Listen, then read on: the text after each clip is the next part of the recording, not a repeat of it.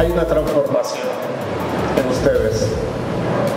Y lo hemos visto, lo hemos estudiado, que se van transformando y cuando salen graduados ya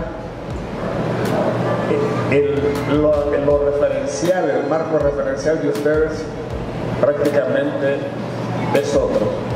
Ya ven el mundo de diferente manera, ya ven el mundo con unos ojos de alegría, con unos ojos de positivismo y de que pueden transformar, pueden ayudar a transformar esta sociedad que tanto lo necesita.